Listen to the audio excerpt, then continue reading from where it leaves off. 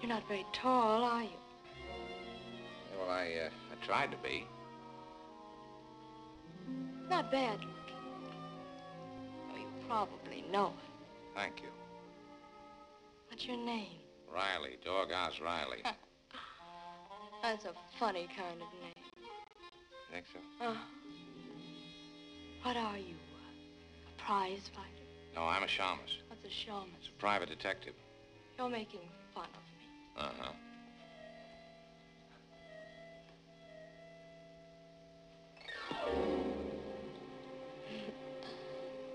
You're cute. The general will see you now, sir.